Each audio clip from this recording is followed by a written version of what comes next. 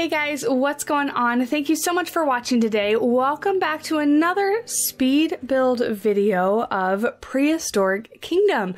It's been a while since I've jumped into Prehistoric Kingdom. Of course, we are playing the beta version right now for those of you that don't know, and I'm going to answer it because I get questions on every single video that I put out regarding Prehistoric Kingdom. We are in closed beta for this game right now, meaning that if you did not already support it as an early backer or early supporter, you won't have access to play the game in its current form. However, they are hopefully coming to early access in April of this year, April 2022. So hopefully we'll be able to see that in just a few months. And for those of you that have been waiting patiently to get your hands on it, you will be able to.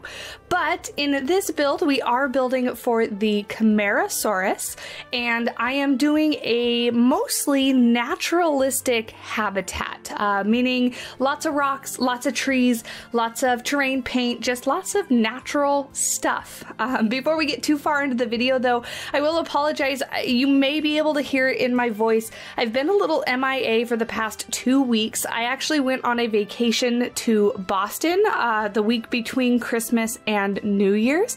And unfortunately, me being me with the luck that I have, got terribly, terribly sick. Um, not COVID, but I got a cold, uh, which turned into uh, some pneumonia.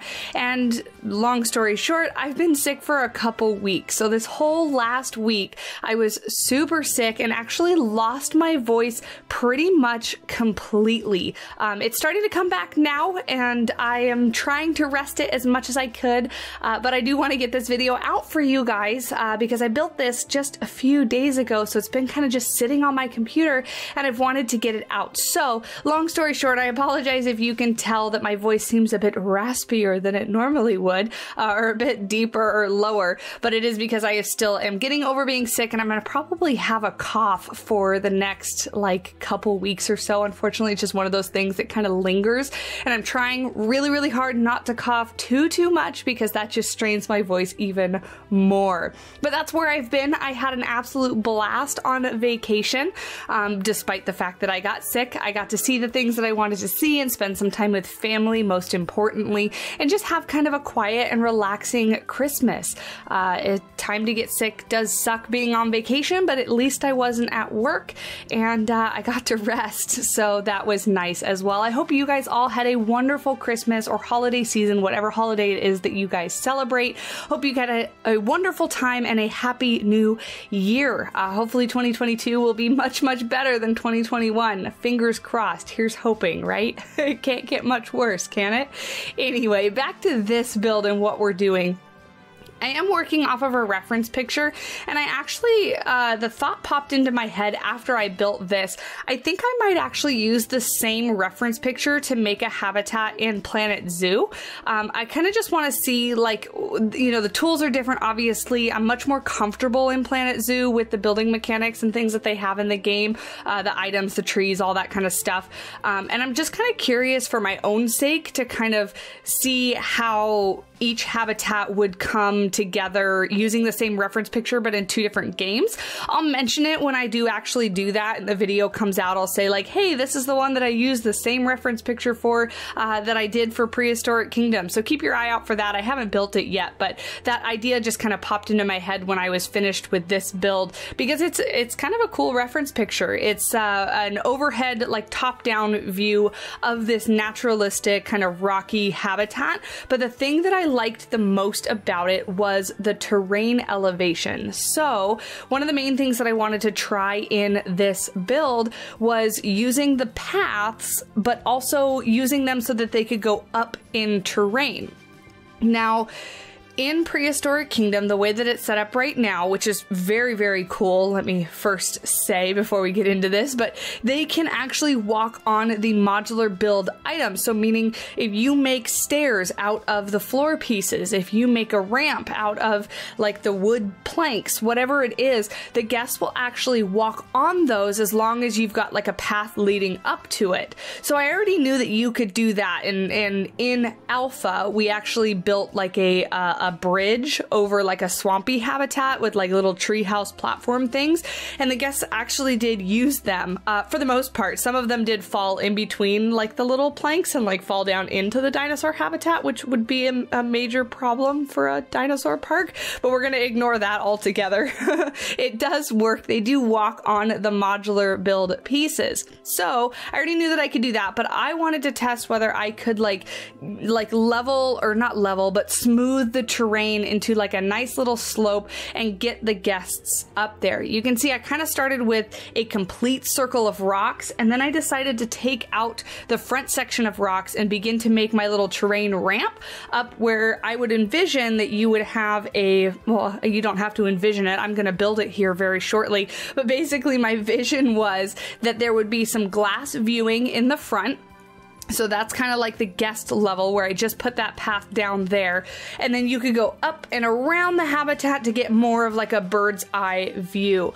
I was thinking about dinosaur habitats probably a little bit too much, but I was thinking about them in the sense of if we actually had dinosaurs in real life, what kind of habitats would we put them in? And every time I kind of thought about that, I always come back to, well, you know, Jurassic Park just has like like these big monster metal uh, fences with like electricity on them and stuff like that. And that basically just one big, you know, square with this hefty, hefty fence. So how can I make that you know, quote unquote realistic, right? Realistic ish, uh, but also make it look more interesting than just a, you know, a, a basically a beefy chain link fence, a square that you put an animal in. So, my thought or my conclusion that I came to with this, hopefully you guys are following my train of thought, uh, is that I thought maybe it would be more efficient uh, to kind of put the dinosaurs in a pit, basically. So, even though this little area that we're building here with the glass is ground level for the guests, I'm going to lower the terrain here and make it so like when the dinosaurs do come down, they're a little bit lower so that the fence is, you know, theoretically high enough to uh, contain them. And then the little metal piece, the fence that I used would be something like hot wire or electricity or something like that to keep the dinosaurs back off of the glass. Now, when I was building this, I didn't actually actually fully decide that I was gonna put the Camarasaurus in. So if I had, I probably would have made this uh, a bit taller because they're they're pretty tall. But um, the I feel like the hot wire or the, the electricity would keep them back far enough so that they wouldn't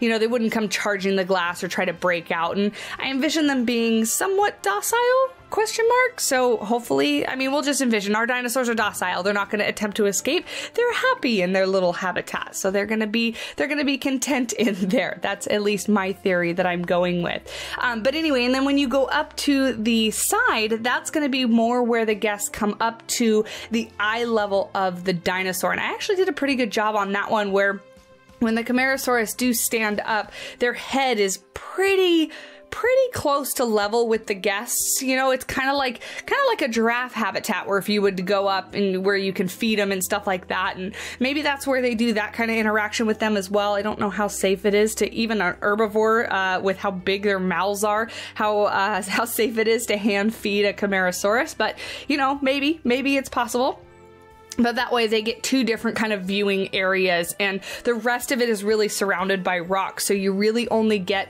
the peek into the dinosaur habitat from these two different locations which again i'm pulling a lot of knowledge from like zoological habitats right? Because that's the only thing that we have to really compare this to because there are not real life dinosaur parks. Um, but that's what i'm pulling my references from and my knowledge from and just kind of sort of trying to tweak it and adapt it to what I feel like a dinosaur would need. Um, I definitely need a lot more practice, a lot more um, uh, time to kind of put together all that that stuff and get better at building dinosaur habitats. But I'm happy with how this one came out. Uh, you can see here I'm doing the same kind of thing with the uh, the little fence here and making it seem like it would be electric or hot wire or something like that to keep them back, keep them back off the glass. This is clearly it's a very naturalistic habitat, of course, because it's all basically rock and and trees and foliage and things like that, but it's also just very modern. Um, I feel like even with the added little bits of some of like the tropical theme and stuff like that, I'm just kind of drawn towards the modern uh, aesthetic of the game uh, right now, at least with the, the small amount of pieces that we have. So that's what I find myself building for. Um, I did build a T-Rex habitat on stream and I have all of the footage for that, but I haven't turned it into a video yet because I feel like there's a couple more things that I want to add to it. It's just not quite ready for the done stamp. Um, maybe I'll get over it and release it anyway. For those of you that saw the stream, uh, you might disagree with me and think that it's ready and just want to see it in form of a speed build, um, but we'll see. But anyway, it was not a modern style habitat. It was more more kind of tropical, jungly, things like that. And so I just kind of, I don't know, I struggle with that aesthetic. Um, you know, there's people like Estan that like thrive in that sort of aesthetic and build, and I kind of struggle with it a little bit. So that's why we're going with kind of modern-esque stuff here.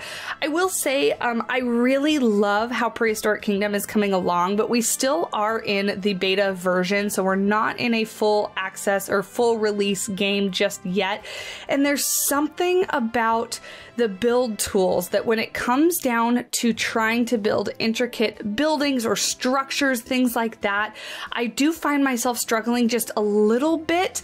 Um, I think it's a combination of the fact that when I play in other creative games like Planet Zoo or Planet Coaster, to move my screen around, I will right click on my mouse and drag the screen whatever direction I need to move it. I can't do that in Prehistoric Kingdom. So when I'm getting into those fine little details and trying to, you know, line things up precise and things like that, I have to like leave where my mouse is push it over onto the edge because there's edge scrolling to move my screen and I, it feels a bit clunky to me only because that's not what I'm used to. So maybe I just need some more time with it. Um, but I am hoping that when early access comes or when the full game comes, there will be a way to kind of change the controls so that you can um, you can kind of move them around how you're accustomed to. The other thing that really kind of gets in my way is the little gyro, the little red, green, and blue blue little gyro advanced move tool.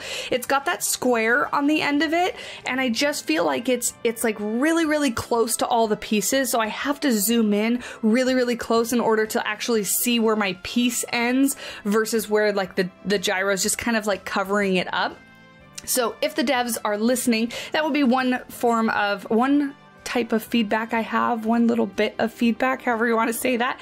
Uh, my suggestion, uh, reaction to the little gyros, I wish it was just either like a little bit off of the piece or a little bit smaller or some way you can see where the, the piece that you're actually building with is a little bit more visible when you have that advanced tool up. Um, other than that, I mean, I, I absolutely love how this game is coming along. I've been asked a lot whenever I do Prehistoric Kingdom videos, like what I think, and obviously everybody wants to compare it to Planet Zoo because they're very similar games, just one with dinosaurs and one with animals. However, I don't think at this stage it's really fair to compare them because, as I've said, I think five or six times now, Prehistoric Kingdom is still in a beta version. So the, the devs are very actively improving and adding things to the game, and they've actually done a fantastic job just since beta has come out. When we were given alpha, we didn't really get any updates after that. It was just here's alpha, have fun, you know, do what you want to do with it. But beta has already come with three, I think. I think it's been three updates where they have fixed bugs. They've added new little build items, things like that. And I'm really, really enjoying that. They're also a wonderful dev team in that they just listen to their community and they're really here to excuse me, they're really here to uh, make the game as best as it can be and what the community wants. So I really do appreciate that from them. So I have absolutely no doubts that the little quirks here and there that beta has, they are already working on uh, ways to improve them for early access. This habitat in total only took me like two hours, maybe two hours and 15 minutes or so. Um, pretty quick. I find building with the rocks and things like that really, really easy. Um, obviously, we can scale things up and down. You might have noticed that. It's another thing I get questions on every time I cover Prehistoric Kingdom stuff is that yes, you can scale things up and down, make them bigger and smaller, which is super, super helpful in making things look not tiled. Um, even the rock wall behind the habitat, the kind of backdrop of the habitat, really doesn't look tiled or repetitive at all just because it's so easy to make it all different uh, variations of rocks, even copying and pasting the same kind of section of wall uh, to a different place. It's just so varied. Um, one thing I would love to see in the game too, talking just about rocks, is that I'd love to see some kind of smoother rocks with not so many cracks and ridges and textures and things like that. Um, I absolutely love how these ones look, and as I just mentioned, it's really easy to make them look really varied and not tiled, and they look very natural. They look very, uh, the only word that comes to mind is dinosaur e. they look very like prehistoric e. Uh, so I think they nailed it on that, but I do wish that we had some that were just kind of smoother so I could make like sheer uh, cliffs or things like that. I mean, I guess I could, there's one of them that has pretty flat edges. I could like scale it way, way up, but I mean, that's honestly kind of being nitpicky. I feel like in beta, you know, I just want to give devs the uh, the feedback and see what they do with it, see what they come back with. So um, finishing up here on a little sign, and then we're going to do a little um, like just like covered pergola thing. I really want to delve more into making custom signs in Prehistoric Kingdom because you can actually take the text and shrink it way, way down. And depending on how much time I want to spend on it, I can actually make like legible, readable signs uh, that you can uh, have real information on. Uh, for now, I did not dive in that deep and I just made this one sign and duplicated it all over the place as if this would be the Camarasaurus uh, information, of course, but you can get that, that detailed in it. Um, but yeah, so we're finishing up just a little pergola thing right here. I just felt like it needed some sort of cover or something like that. Um, we add a, a couple little planters that are very clearly like purposely planted um, plants in these planters versus just kind of like the wild foliage that's growing all over the habitat and uh, a little bit behind the habitat. Um, but then that's gonna be it. Pretty short, simple, quick video for you guys today. I really do hope you guys enjoyed it. If you guys have, of course, leaving a like down below really does help me out. I greatly do appreciate it. And if you are looking for any more Prehistoric Kingdom coverage, of course, hitting that subscribe button will make sure you don't miss out on anything. I do plan plan to cover it all the way through early access. I can't wait to see what is coming, especially new animals. Being such an animal person, that's really what I'm here for. so very excited about that. Um, if you guys want to follow me elsewhere, I'm on Twitter, I'm on Instagram, and also recently on TikTok. I do have a Discord as well. All those links are down below. So if you want to follow me, hang out, follow what I'm doing, go ahead and click those down there. Uh, and then that's pretty much it for me. There's going to be some end little cinematic shot so you can see the uh, habitat in all of its finished glory. Again, I do hope you guys enjoyed. Uh, I do have a couple more Prehistoric Kingdom builds planned for the future, so I will hopefully get those out very, very soon. But yeah, until next time, you guys, I will talk to you guys in the next video. Bye!